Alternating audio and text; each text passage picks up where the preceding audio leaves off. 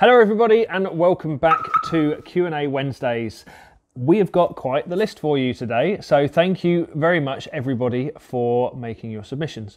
Before we make a start though, I just want to say again thank you to all of our Patreon supporters and all of you new subscribers. We've had a huge increase in subscribers recently and it's all down to you guys, so thank you once again.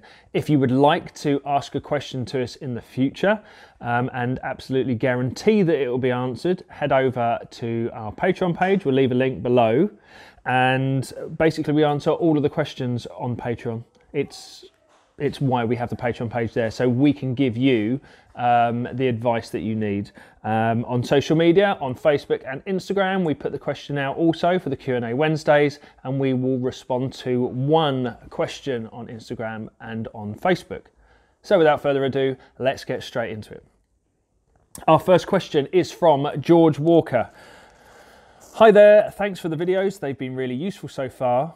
I've been doing up a Renault Trafic following your vids and have finished the walls in carpet and fitted a ply floor.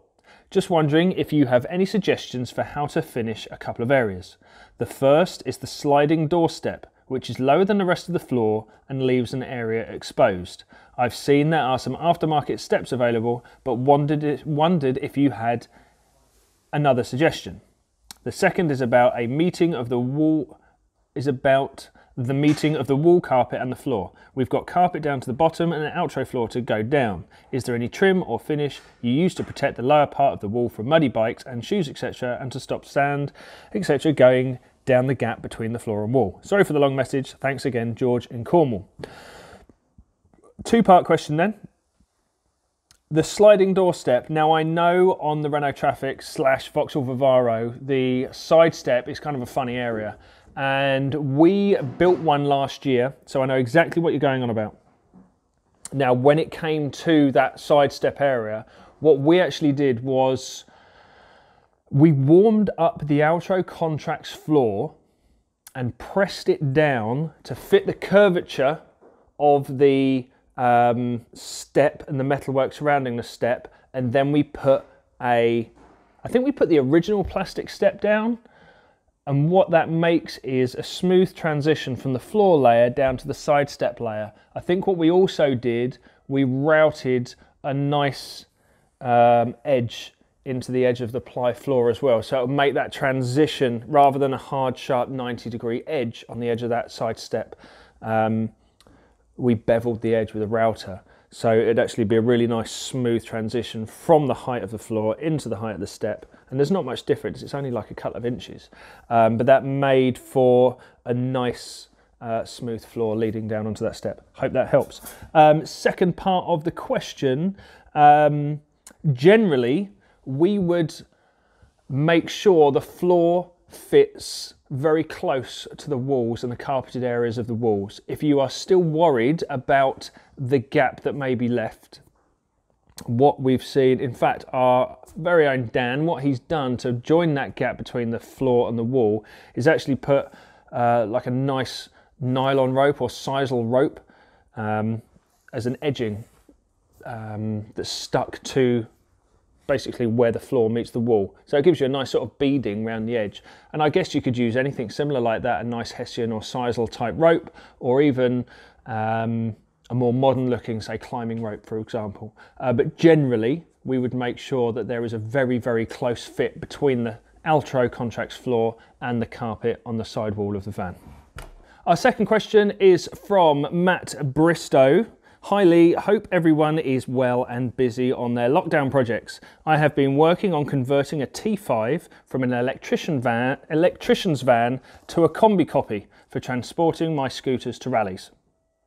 Just the floor to put in now, I have lifted the factory ply and checked for nails and screws and touched up any bare metal. My intention is to reinstate the marine ply floor and finish with a laminate snap together type flooring which is harder wearing for the scooters. The laminate flooring says it needs an underlay. In which order would you build up from bare metal to laminate flooring, including insulation, sound deadening, and ply flooring? Thanks, Lee. Thanks, Lee. Right.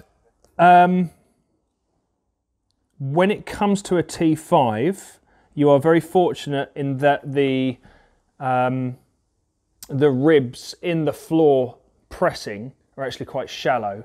Um, so what you can do is put a nine mil ply down in between those ribs to be able to, if you, yeah, to be able to lay your new plywood floor on top of that. So bond some ply strips down onto the metalwork, fill in the gaps between those ply battens with um, the Dead Mat Duo, which you can get again from our website. We can leave a link below. Then you can screw and or bond your new ply or reused ply floor onto those ply strips. Um, alternatively, you can screw that ply floor directly onto a metal floor that has been lined with Dead Mat Duo. So, Dead Mat Duo, ply floor, screwed directly on top. Alternatively, ply battens between the ribs of the metal pressing, fill the gaps in between those with the sound deadening Dead Mat Duo, and then you ply floor on top. Again, screwed down and or um, use a bonding, such as a polyurethane bonding.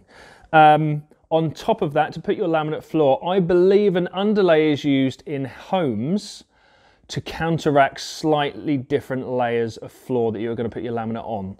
I've not used it in a van before. I've not used an underlay in a van before, but I have used laminate type flooring in a van. And to be honest with you, Matt, I would I would not recommend a click together laminate type floor. I would recommend covering that ply floor now with an Altro Contracts flooring, which eh, they come in maybe 30, 40 different color and pattern variations.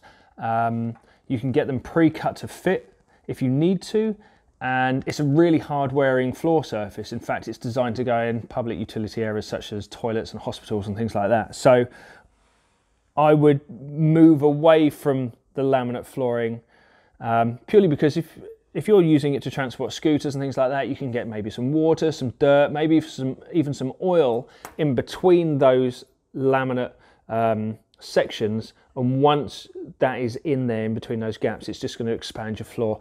I put laminate floor in my van bully when i first got him and i wish i never did to be honest because um, once those edges are raised you then wear them and it's just it's a patchy looking floor now. So i'd steer clear from that if i were you. Um, next question well thanks anyway for your question matt next question is from lee roberts Hi Lee, I'm looking I'm thinking of adding central locking to my T4.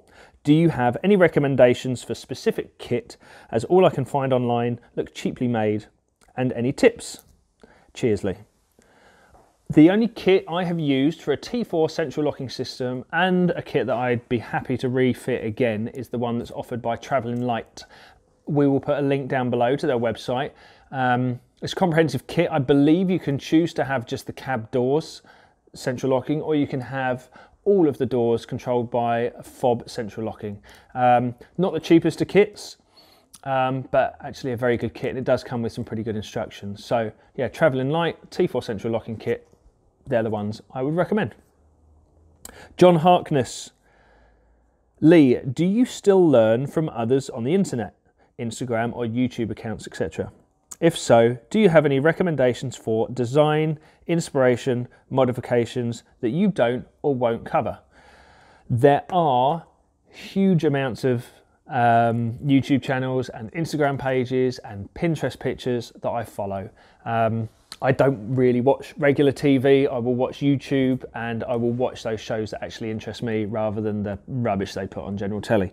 In terms of design, inspiration, and modifications that I don't or won't cover. One that is really good, uh, an Instagram account that is really good, is one called OTG Camper, at OTG Camper. Now, he's US based and he works primarily on motorhomes, but what he does do is huge, comprehensive um, electrical installations using all Victron gear. So he will have a huge 30, 40 foot motorhome and um, put solar panels on, power management systems, and it's absolutely impeccable. His wiring and his battery management skills and everything else, really, really good. Um, in terms of YouTube channels I follow, I don't really follow any other YouTube channels in terms of camper vans. Um, I do follow the likes of Project Amber, who we've spoken about before. He's got a really, really good story, um, and his build's really cool in his ambulance-based camper van conversion. But in terms of entertainment, I watch Roadkill, which is presented by Mike Finnegan and David Freiberger over in America. Um, Mighty Car Mods, Marty and Moog, they're the guys who are based in Australia. They kind of got me into the whole YouTube game. Um, in terms of just general um, mechanics, I watch a channel called Mustie1, and again, all of these links I'll put down below. And in terms of carpentry, I watch and follow a guy called John Malecki on Instagram. Anybody who knows anything about wood might actually follow John Malecki. He's pretty big in the Instagram game as well. Um, but in terms of inspiration, I look a lot at Pinterest as well because there are some excellent, excellent pictures that other converters have put up. But generally, I get a lot of feedback from you guys, all of you who are tagging us in your uh, build photos and follow us and then sharing everything with me. I'm just blown away by the interiors you guys are coming up with and the designs and everything else. So keep them coming, keep tagging me in the pictures. I absolutely love it and I do follow them and I do put a thumbs up or a heart or whatever it is on Instagram. Um, but no, I love seeing all of your projects. So keep on tagging us in the photos. Our next question is from Emma Lloyd. Thank you very much, Emma. In fact, Emma's van is with us at the moment having a bit of remedial work. Emma says, Hi, I was wondering about solar panels. Are they a good investment and how do I know which set to buy? Now, open question. Once again, I think we discussed this in the last Q&A. It depends completely on your requirements and the utilities you have within your camper van or motorhome as to what um, wattage of solar panels and or power management you go with. If you're only using a compressor fridge and maybe a couple of USBs, you want to go for a slightly smaller solar panel but it would be unfair for me to give you specific figures and sizes because every van's different and every user requirement is different as well. But um, yes, they are a good investment because if you're uh, what they call wild camping and you have no hookup or anything like that, then solar panels are great for keeping your battery topped up for days and days. So that is all the Patreon questions answered. Thank you very much, everybody, for asking. We are going to head over to Facebook now. Bear with us one second.